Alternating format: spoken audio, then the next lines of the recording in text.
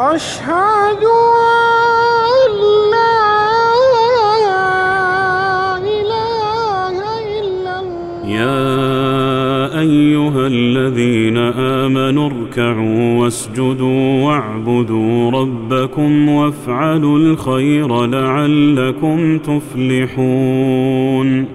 إن الصلاة قرة عيون المحبين ولذة أرواح الموحدين ومحك أحوال الصادقين ولسان ميزان السالكين وهي رحمة الله المهداة إلى عباده.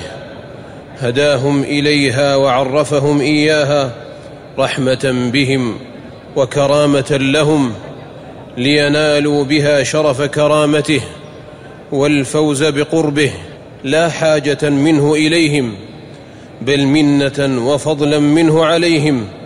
وتعبد بها القلب والجوارح جميعا وجعل حظ القلب ونصيبه منها أكمل الحظين وأعظم النصيبين إقبالا على ربه وفرحا بسيبه وتلذذا بقربه وتنعما بحبه وابتهاجا بالقيام بين يديه. قال وكيع بن الجراح رحمه الله كان الأعمش قريبا من سبعين سنة. لم تفته التكبيرة الأولى.